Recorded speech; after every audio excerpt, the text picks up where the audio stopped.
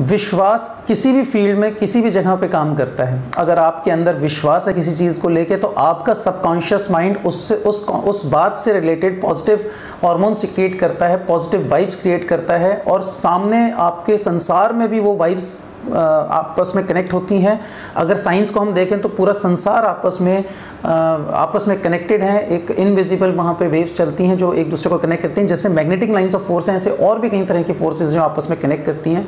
तो subconscious mind की power आपको रिलेट करती है दूसरे संसार के साथ, सारे आउटर वर्ल्ड के साथ। इसलिए पावर ऑफ़ बिलीफ तो काम करता है।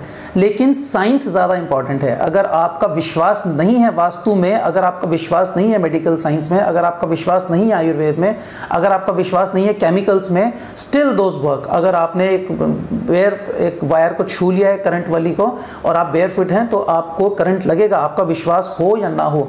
आपने केमिकल कंज्यूम किया तो उसका इफ़ेक्ट आएगा बॉडी में, आपके स्टमक में, वो मेडिसिन काम करेगी, आपका विश्वास हो या ना हो। किस एक्सटेंट तक इफ़ेक्ट देगा? Yes that can be influenced by your power of belief आपका बिलीफ क्या है? उसके अनुसार उसका प्रभाव का एक्सटेंट कम ज़्यादा हो सकता है।